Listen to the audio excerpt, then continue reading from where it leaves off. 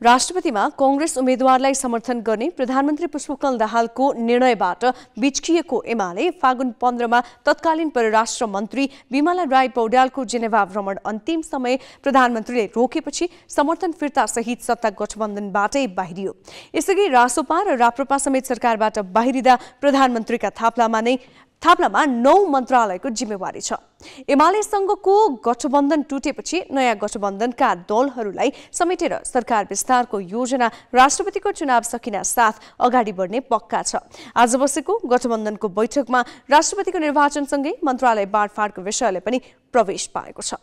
राष्ट्रपति निर्वाचनको आचार संहिता लागेसँगै सरकार विस्तार चुनाव अघि सम्भव छैन।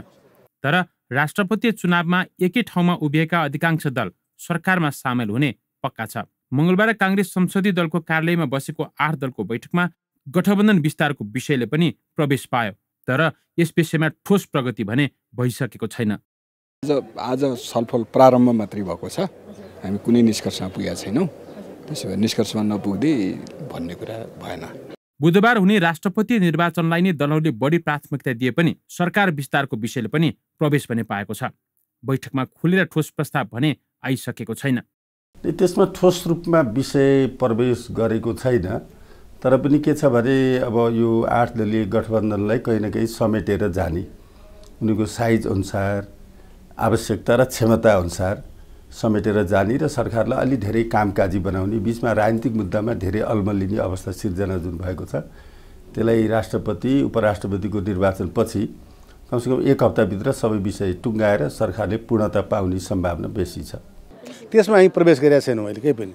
अहिले शुद्ध रूपमा राष्ट्रपतिको निर्वाचनको पच्चिस गतिको तयारीको बारेमा हामी आज छलफल गऱ्यौँ र अन्य विषयमा हामी तत्काल प्रवेश गरेका छैनौँ। राष्ट्रपति निर्वाचनपछि त्यसपछि ती कुराहरूमा प्रवेश गर्ने अवस्था बन्ला। हालसम्म आठ दलको मोर्चा रहे पनि मतदान अघिसम्म विकसित घटनाक्रमले त्यो सङ्ख्या दस पुग्ने सम्भावना देखाउँछ। त्यसैले अहिले सिट बाँड्ने अवस्थामा दलहरू छैनन्। चुनाव अघि आचार संहिता र माहौलमा पार्ने प्रभावका कारण पनि बाँडफाँडको सम्भावना छैन। फागुन पच्चिसपछि मात्रै सत्ता बाँडफाँटले ठोस आकार लिनेछ। क्यामेरामा सञ्जय घिमिरे र रिकेश सिंहका साथमा पवन पौडेल ग्यालेक्सी फोके काठमाडौँ।